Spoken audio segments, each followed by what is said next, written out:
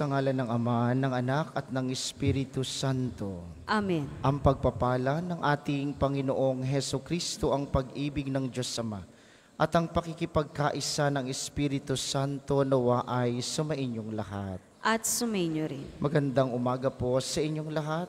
Magandang umaga din po, Father. Welcome po sa parokya at pambansang dambana ni Santo Padre Pio.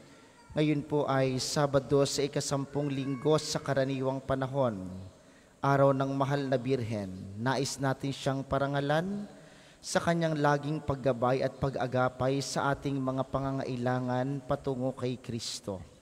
Kaysa ng lahat ng ating mga intensyon, ipanalangin natin ang lahat ng mga nagpamisa, lahat ng mga nagdiriwang ng kaarawan at anibersaryo sa araw na ito, ang mga patuloy na dumudulog kay Santo Padre Pio at sa mahal na Birhen ng mga biyaya para sa kanilang mga kahilingan at karamdaman at para sa kapayapaan ng kaluluwa ng lahat ng ating mga yumao. Aminin natin ang ating mga kasalanan upang tayo'y maging marapat gumanap sa banal na pagdiriwang.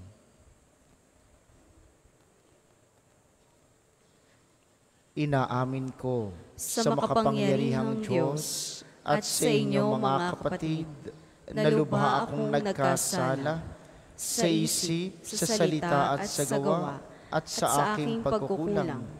Kaya isinasamo ko sa mahal na Birheng Maria, sa lahat ng mga anghel at mga banal, at sa inyo mga kapatid, na ako'y panalangin sa Panginoong ating Diyos.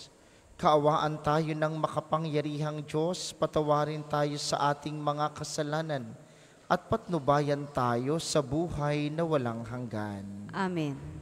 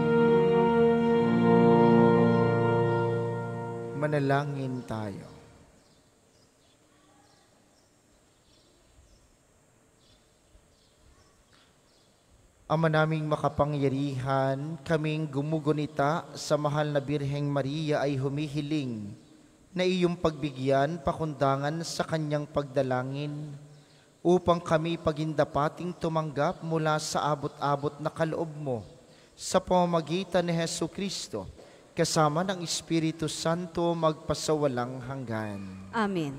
Magsiyo po ang lahat.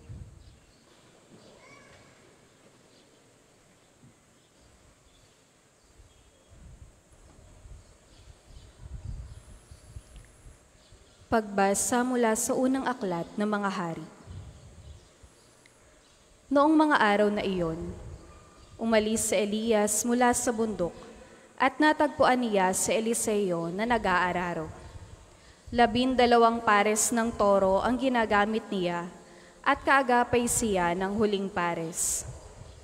Pagdaan ni Elias sa tapat ni Eliseo, isinuklog niya rito ang kanyang balabal. Pagdakay iniwan ni Eliseo ang mga toro, humabol kay Elias at nakiusap. Magpapaalam po muna ako sa aking ama't ina at pagkatapos ay sasama na ako sa inyo. Sumagot naman si Elias, Sige, umuwi ka muna. Umuwi nga si Eliseo. Nagpatay siya ng isang pares na toro at iniluto. Ginamit niyang panggatong ang mga pamatok at mga araro. Ipinakain niya ito sa mga tao at sumunod kay Elias at naging katulong nito. Ang salita ng Diyos. Salamat sa Diyos. Ang tugon po sa salmo. Diyos ko, aking kapalaray, manahin ang iyong buhay. Diyos ko, aking kapalaray, manahin ang iyong buhay. O Diyos, ako'y ingatan mo. Ingatan ng iyong lingkod. Ang hangad ko ay maligtas, kaya sa'yo dumudulog. Ika'y aking Panginoon, ang wika ko sa aking Diyos. Kabutihang tinanggap ko ay ikaw ang nagkaloob. Ikaw lamang o poon ko ang lahat sa aking buhay. Ako'y iyong tinutugon sa lahat kong kailangan. Diyos ko, aking kapalaray, manahin ang iyong buhay. Pinupuri ko ang poon na sa akin ay patnubay. Kahit gabi diwa niya ang sa akin umaakay.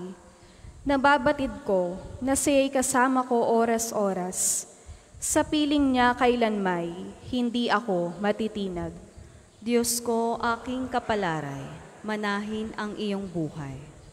Kaya't ako'y nagdiriwang, ang diwa ko'y nagagalak. Ang lagi kong nadaramay, hindi ako matitinag. Pagkat di mo tutulutang, ang mahal mo ay malagak. Sa balon ng mga patay, upang doon ay maagnas. Diyos ko, aking kapalaray, manahin ang iyong buhay. Magsitayo po ang lahat.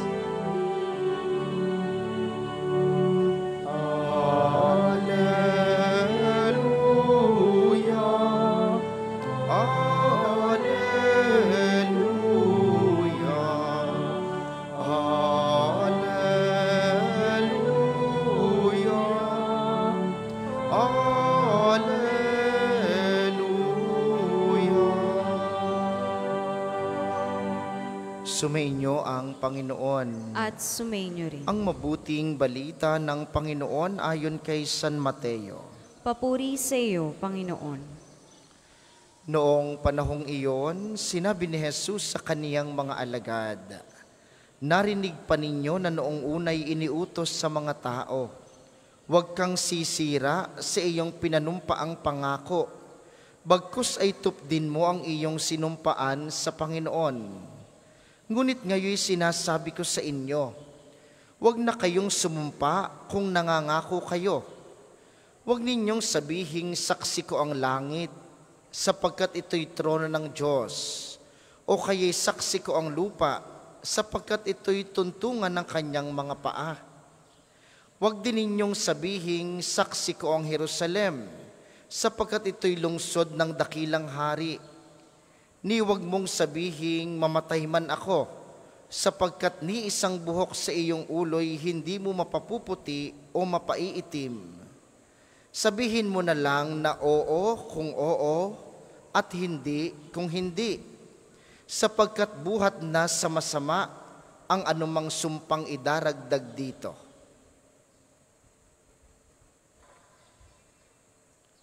Ang mabuting balita ng Panginoon. Pinupuri ka namin, Panginoong Heso Kristo.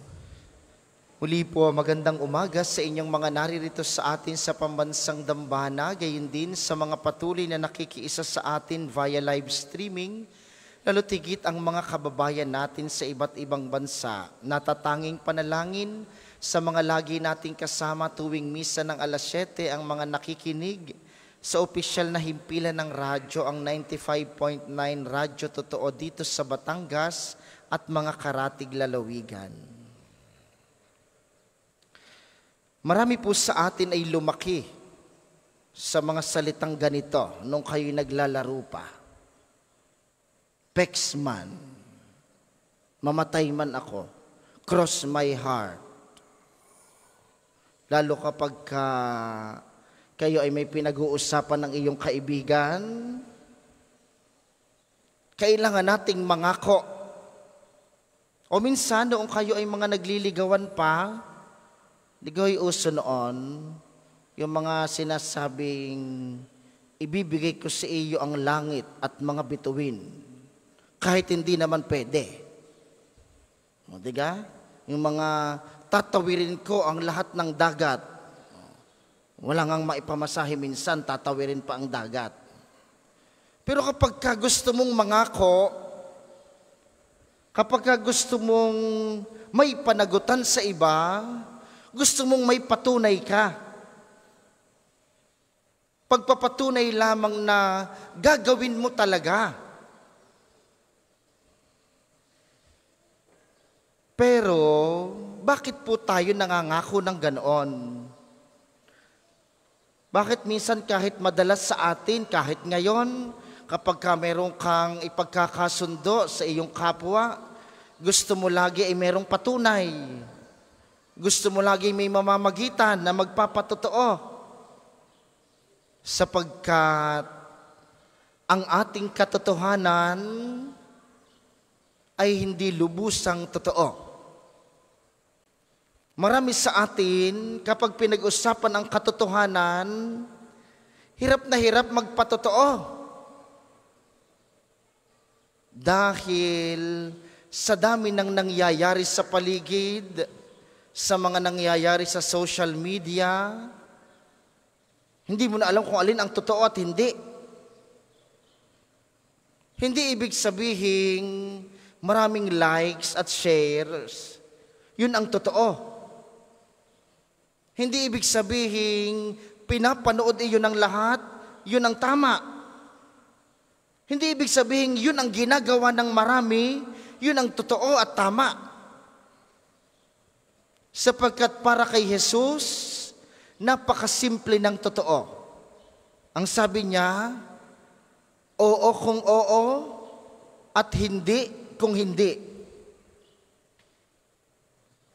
Tingnan nyo kapag kami mga nag-aanyayat nangungumbida sa inyo, Mare, magbe-birthday ang aking anak sa isang araw. Pumunta ka sa amin ha. Tingnan ninyo kapag ka ayaw ninyong pumunta, ang sasabihin ninyo'y, sige titingnan ko. Ang sabi ni Jesus, oo kung oo, hindi kung hindi. Ang nasa pagitan noon, galing sa demonyo. Kapag ka hindi ka sigurado sa iyong oo at hindi, dyan pumapasok ang kasinungalingan. Dyan pumapasok ang mga bagay na hindi kaaya-aya para sa atin. Paano mo mapapagtatakpan ng isang kasinungalingan? E di gagawa ka rin ng isang kasinungalingan? Kaya napakasimple ng totoo. Pag sinabing totoo, ito na. Wala kang pwedeng ipabalat. Wala kang pwedeng itapal. Sapagkat ito ang totoo. At ang katotohanan natin, mabuti lamang at masama. Oo at hindi. Kapag ka kayo laging nasa pagitan ng oo at hindi, ang sabi ni Jesus, galing na sa masama ang mga idaragdag sa oo at hindi. Kaya gusto niyong patunay kung kayo'y totoong tao? Tingnan ninyo ang inyong sarili. Kung kayo'y nakaka-oo at hindi sa inyong kapwa. Ay dahil minsan, ayaw nating maging totoo para sa iba, kaya alanganin tayo. Gusto nating nasa gitna. May hinihingi ang inyong anak Mami, Daddy, gusto ko ng ganito. ay dahil sa hindi mo masabing hindi pwede, sasabihin mo, sige, titingnan natin sa Pasko. Pagdating ng Pasko, wala ka nang maalala. Kaya dumadami ang mga taong hindi totoo sa sarili dahil sa mga tao na hindi rin maka-oo at hindi sa mga pangyayari. At ganoon ang ating pananampalataya mga minamahal. Hindi pwedeng alanganin tayo pagdating sa Diyos. Hindi pwedeng alanganin tayo pagdating sa pagmamahal sa Kanya. Pagpunta mo dito sa pagdadasal, dahil gusto mong magdasal. Pag ayaw mong pumunta dito, dahil ayaw mong magdasal. Hindi pwedeng titingnan ko. Wala pong ganoon. Baka, siguro, hindi po totoo ang mga bagay na iyan. Ang sabi ni Jesus, oo at hindi lamang. Kaya magiging totoo lamang tayo sa ating sarili kapag ka may kakayan na tayong umoo at humindi. Marami sa atin hindi makahindi at hindi agad makaoo dahil hindi totoo sa sarili.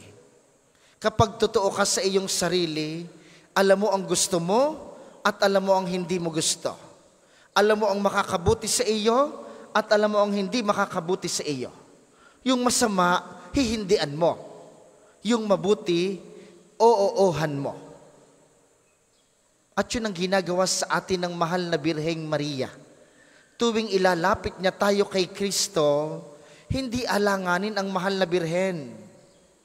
Pag lumapit at nagdasal ka sa Kanya, laging siguradong oo, dadalhin kanya kay Kristo.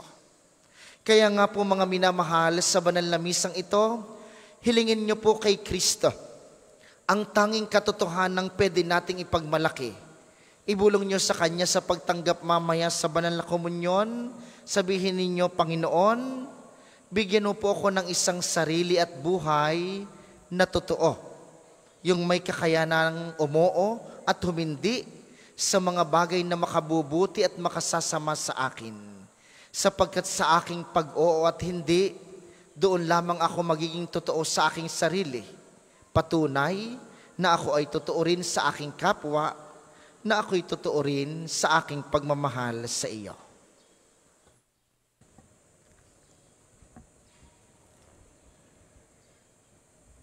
Para po sa mga maghahandog ng sobre, pakihulog na lamang po sa buslo.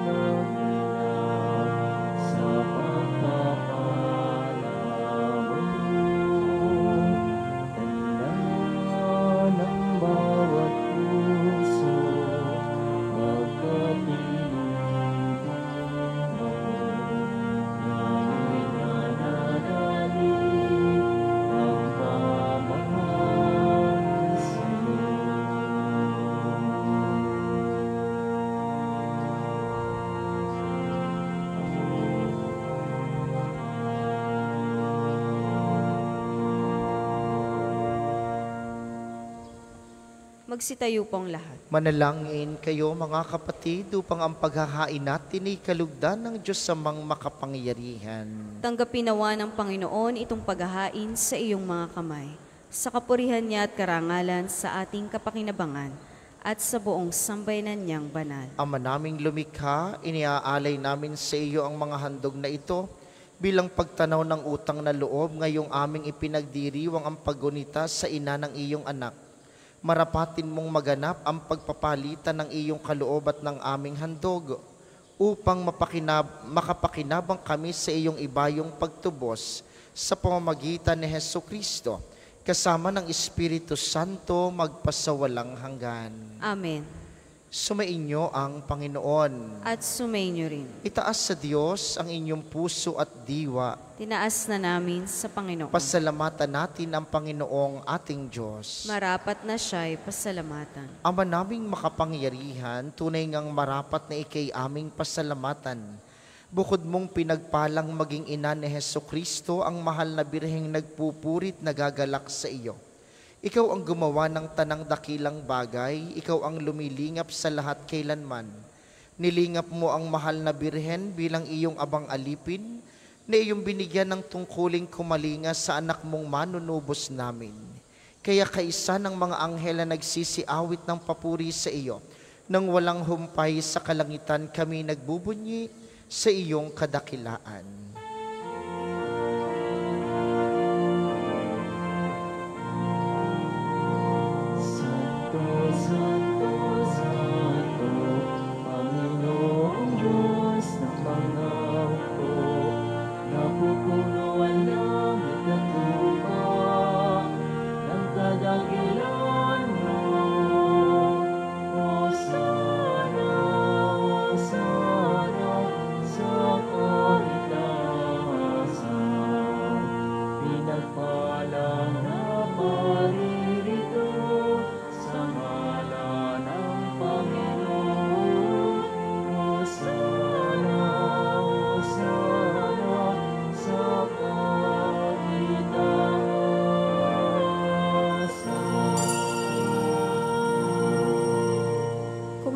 Kayang lumuhod, ay manatili pong nakatayo ng may paggalang. Ama naming banal, ikaw ang bukal ng tanang kabanalan, kaya't sa pamamagitan ng iyong Espiritu, gawin mong banal ang mga kaloob na ito upang para sa amin maging katawan at dugo ng aming Panginoong Heso Kristo. Bago niya pinagtiis ang kusang loob na maging handog, hinawakan niya ang tinapay. Pinasalamatan kaniya, pinaghati-hati niya iyon. Iniabot sa kaniyang mga alagad at sinabi, Tanggapin ninyong lahat ito at kanin, ito ang aking katawan na ihahandog para sa inyo.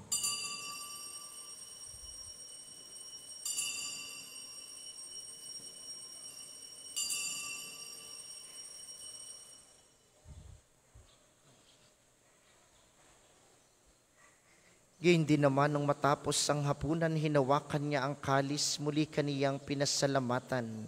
Iniabot niya ang kalis sa kaniyang mga alagad at sinabi, Tanggapin ninyong lahat ito at inumin. Ito ang kalis ng aking dugo, ng bago at walang hanggang tipan. Ang aking dugo na ibubuhos para sa inyo at para sa lahat, sa ikapagpapatawad ng mga kasalanan. Gawin ninyo ito sa pag-alala sa akin.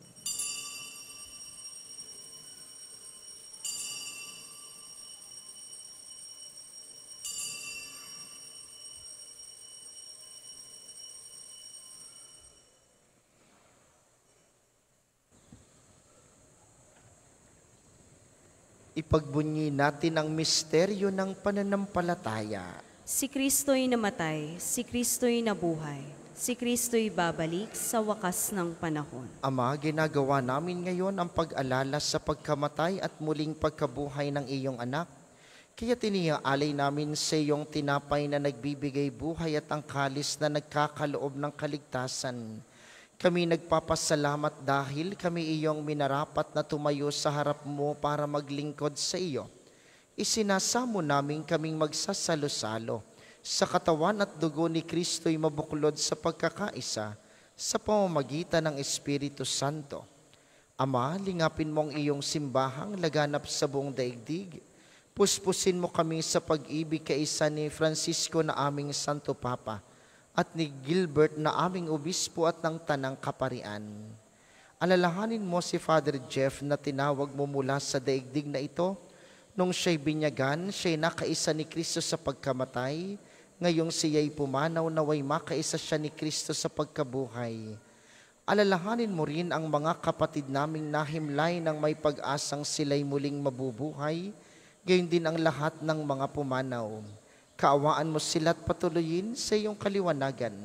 Kaawaan mo't pagindapatin kaming lahat na makasalos sa iyong buhay na walang wakas.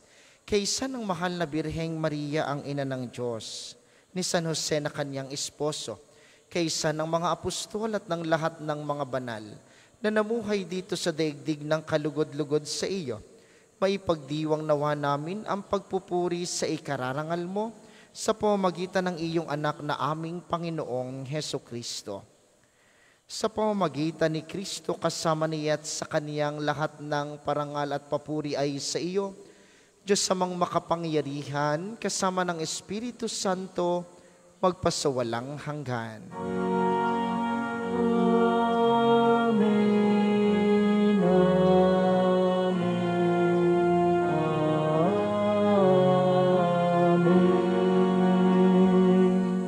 Magsitayo po ang lahat. Sa tagubilin ng mga nakagagaling na utos at turo ni Jesus na Panginoon natin at Diyos, darasalin natin ng lakas loob. Ama namin, Ama namin, sumasalangit ka, sambahin ang ngalan mo. Mapasa amin ang kaharian mo. Sundin ang loob mo dito sa lupa para nang sa langit. Bigyan mo kami ngayon ng aming kakanin sa araw-araw.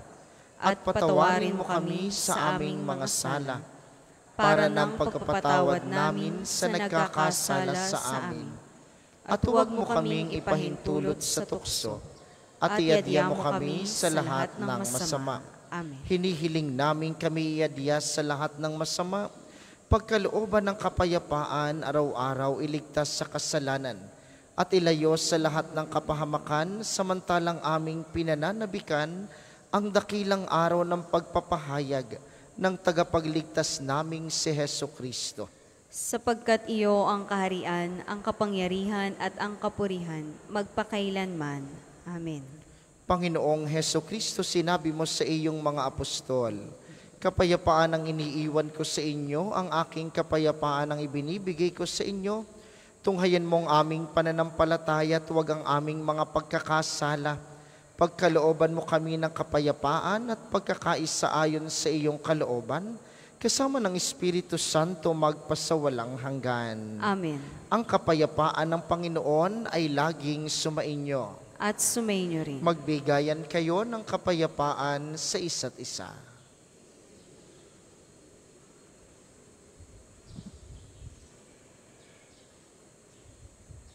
Kordero ng Diyos na nag-aalis ng mga kasalanan ng sanlibutan, maawa ka sa amin. Kordero ng Diyos na nag-aalis ng mga kasalanan ng sanlibutan, maawa ka sa amin. Kordero ng Diyos na nag-aalis ng mga kasalanan ng sanlibutan, ipagkaloob mo sa amin ang kapayapaan. Kung hindi po kayang lumuhod, ay manatili pong nakatayo ng may paggalang.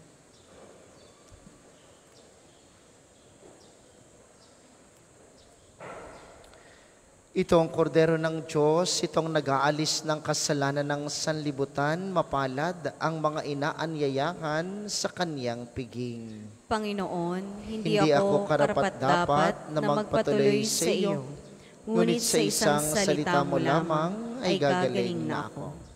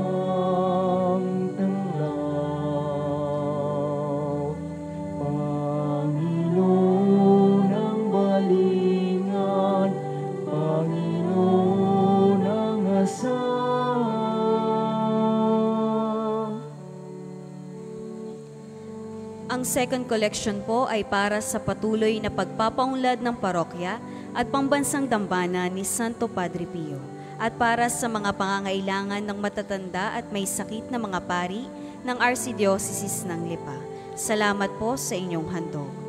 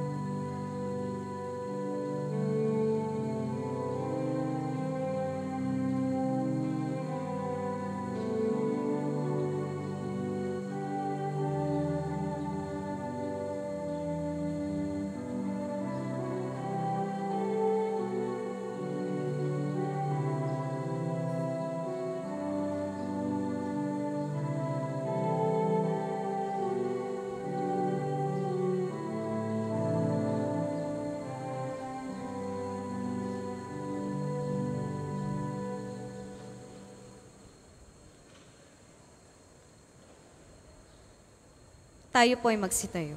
Manalangin tayo.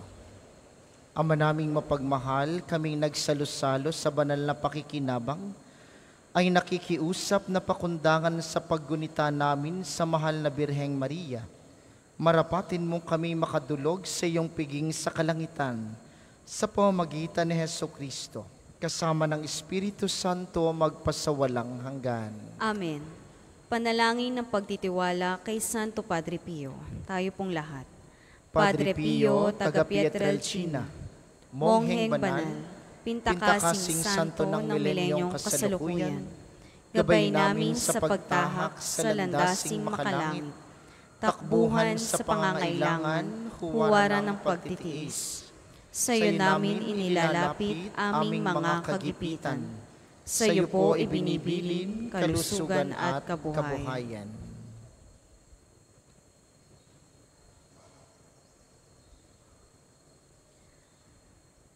Di man karapat-dapat, Kami po ay pagbigyan, bendisyonan at basbasan, maging ganap sa buhay.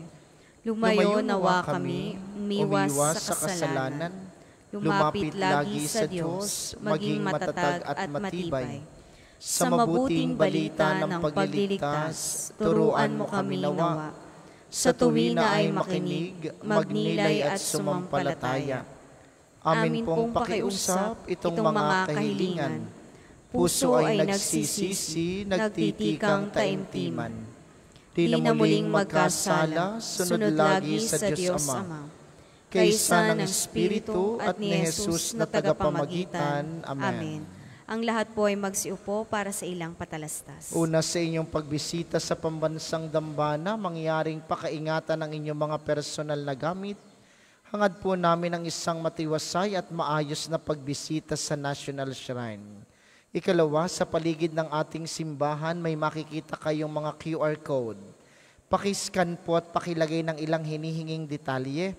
Tulong sa ating documentation program upang maisaayos ang mga datos at mga ng mga pilgrims at devotees na bumibisita dito. Asahan po ninyo sa pamamagitan ng batas ng Data Privacy Act ng 2012, iingatan namin ang inyong mga private informations. Ang inyong support ay malaking bagay sa pagtatagumpay ng proyektong ito. Maraming salamat po sa inyong lahat. Ang ating sunod na misa mamayang alas 9 ng umaga. Inaasahan namin inyong pananatilihin ng kalinisan, katahimikan at diwa ng pananalangin sa loob at labas ng ating simbahan. Magsitayo na po ang lahat para sa pagbabasbas ng religious articles. Mga kapatid, manalangin tayo sa Diyos sa mga makapangyarihan upang tayo'y maging kawangis ni Kristo sa taimtim na pagdalangin sa tulong ng mga larawan at mga dasalan. Inyo pong hahawakan ng inyong mga nais pabasbasan, isipin ng mga taong nais niyong ipanalangin, para po sa mga nasa kanilang tahanan, ang panalangin pong ito'y para din sa inyo at sa inyong mga nais pabindisyonan. O Panginoong Diyos, ikaw ang bukal ng lahat ng pagpapala at biyaya, ibuhos mo ang iyong bindisyon sa mga gamit na ito sa pananalangin ng mga rosaryo, mga imahen, mga dasalan, mga healing rab, mga miracle oil at mga bulaklak ng rosas na nagpapaalaala ng iyong kabutihan, kabanalan at pagmamahal sa amin upang ang lahat na dumulog at magdasal gamit ang mga ito ay magtamo ng iyong awa at biyaya. Loobin mong tularan nila ang kabanalan at aral ng Panginoon at mga santo magpasawalang hanggan. Amen. Ama namin, sumasalangit ka. Sambahin ang ngalan mo. Mapasa amin ang kaharian mo. Sundin ang loob mo dito sa lupa para nang sa langit. Bigyan mo kami ngayon ng aming kakanin sa araw-araw. At patawarin mo kami sa aming mga sala.